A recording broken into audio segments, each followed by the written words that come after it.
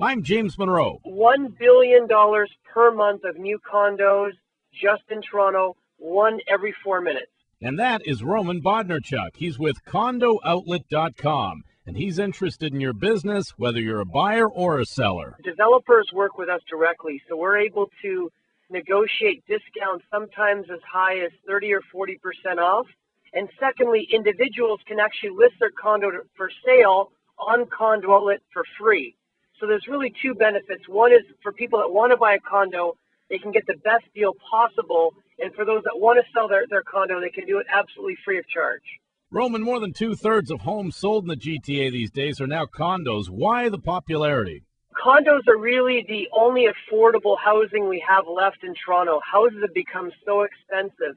So for the 100,000 people a year that come to Toronto, um, you know, their first home is typically a condo.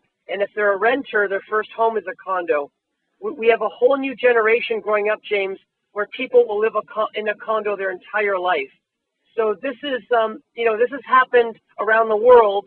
Uh, if you think about Europe or you think about Asia, and um, it's the new way of life here in Toronto. Aside from Toronto, you have properties in 10 countries and 30 cities around the world, and there are big deals to be had out there.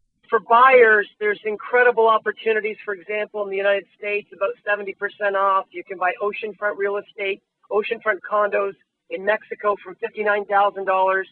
But even 90 minutes away in Muskoka, you can buy a brand new a condo on Lake Muskoka starting at $125,000.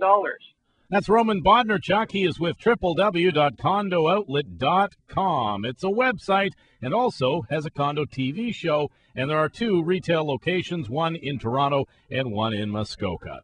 I'm James Monroe. Weekend business continues at 26 and 56. This is 680 News.